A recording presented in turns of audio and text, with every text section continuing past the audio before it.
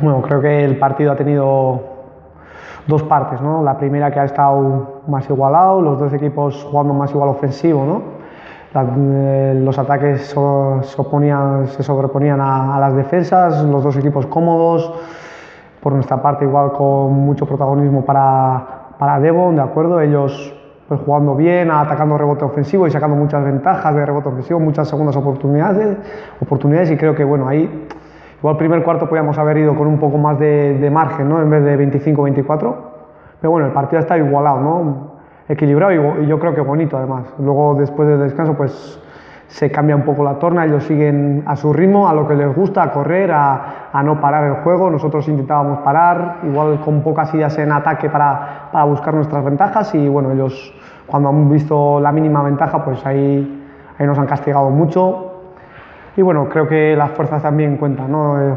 Los interiores cargados con faltas eh, y no hemos visto que hemos bajado un poco el listón defensivo, ellos nos han atacado yo creo que con fácil y, y con superioridad. ¿no? Al final la ventaja es clara para ellos, creo que 20 minutos que hemos competido bien contra un gran equipo, pero nos han faltado esas fuerzas y esa, esa rotación que igual ellos tienen, ¿no? que cambian, cambian y, y siempre hay alguien que, que te mete alguna de tres, siempre hay jugadores que aparecen y a nosotros pues, nos ha faltado un poco, de, un poco más de eso, un poco más de, de rotación, pero bueno, yo creo que, que eso, 20 minutos bien competidos y al final nos ha faltado esa sensación de poder competir todo el partido, justos vencedores, está claro.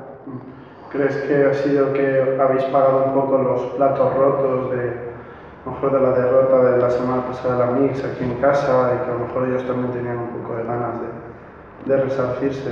Bueno, yo creo que un equipo siempre tiene ganas de ganar. ¿no? Está claro que después de perder dos, dos partidos consecutivos, pues un equipo como el Castellón, que está ahí luchando por, por subir, como primero, pues tiene, tiene hambre, ¿no? y en casa además, y segundo partido consecutivo en casa, pues salen a por todas, pero lo sabíamos, o sea, tampoco nos sorprende. ¿no? Y hemos aguantado 20 minutos. Está claro que al final es un equipo con mucha calidad y al final aparece, ¿no? Al final, cuando un equipo es- tiene mucha calidad, pues la diferencia aparece. Hemos intentado aguantar 40 minutos, no ha podido ser, pero no creo que hayamos, hayamos ¿cómo te diría? Mm, Seamos lo de plato roto, como has dicho tú, ¿no? Al final, mucho ritmo, muchos jugadores buenos y al final te castigan. Y, y aunque lo hemos intentado con defensas alternativas, pues es gente inteligente, buenos jugadores y nos han ganado con suma claridad. Es una pena eso, queríamos competir, sobre todo terminar con buenas sensaciones el partido, sabemos que era complicado, pero, pero bueno, no ha podido ser y a pensar eh, en Zornota, no queda otra.